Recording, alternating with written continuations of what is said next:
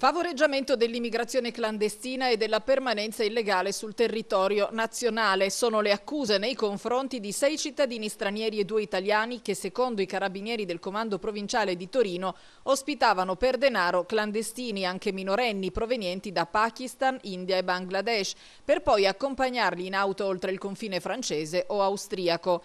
I carabinieri stanno eseguendo nei loro confronti un'ordinanza di custodia cautelare. Nel corso dell'indagine per gli stessi reati sono già state denunciate a piede libero a vario titolo 67 persone e ne sono state sottoposte 7 a misura cautelare.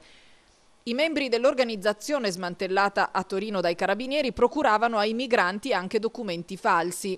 Prima di accompagnare in auto i migranti oltre il confine attraverso i valichi del Brennero e del Monginevro, i passeur consegnavano false attestazioni di ospitalità e istanze di ricongiungimento familiare.